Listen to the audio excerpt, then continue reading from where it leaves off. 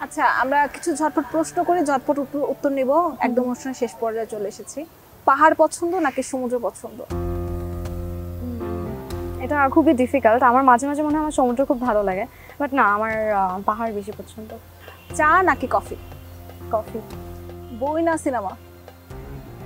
Cinema. একসময় অনেক বই পড়তাম, কিন্তু বই পড়লে আমার সামহাও আমি কেন যেন ঘুমায় যাই। কোন দিনগুলো বেশি কষ্ট ছিল? লকডাউন ডেজ নাকি ব্রেকআপ ডেজ দুটো তো দুই রকম কষ্ট। লকডাউন ডেজটা আমি অনেক এনজয় করেছি কারণ আমি খুব হোমসিক মেয়ে। আর ব্রেকআপ ডেজ আসলে সবারই তো একটা ফেস থাকে। ব্রেকআপ ফেজ অবশ্যই আমি যদি এখন বলি যে এটা অনেক খুশির একটা টাইম এটা তো হয় না। হ্যাঁ ওইটা আসলে কষ্টের ব্রেকআপের টাইম সুহাসিনী নাকি ইরা? এটা আপু খুবই টাফ কারণ আমার কাছে আমার প্রতিটা চরিত্রই খুব পছন্দ। সুহাসিনী আমাকে একরকম ভালো লাগা দেয় আর ইরা চরিত্রটা আমাকে একরকম ভালো লাগা দেয়। বাট আমি দুইটা চরিত্রকে অনেক ভালোবাসি।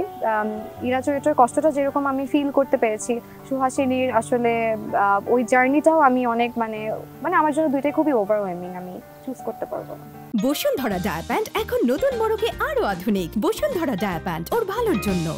আপনার যারা দর্শক আছে কিছু হচ্ছে একদম ক্রেজি দর্শক বলা যায় তাদের সবার উদ্দেশ্যে কি বলতে চান?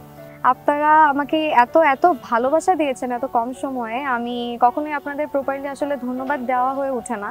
বাট আমি আসলে খুবই হ্যাপি আমি সবসময় আপনাদের কমেন্টসগুলো পড়ি। আপনারা এত তো ভালোবাসা দিন, আমার খুবই ভালো লাগে। তো আপনারা সবসময় দোয়া করবেন যেন আমি এইভাবে ভালো ভালো কাজ করতে পারি। আর সামনের দিনগুলোতে আপনাদের আরও ভালো কাজ উপহার দিতে পারি। আপনারা সবসময় দোয়া করবেন।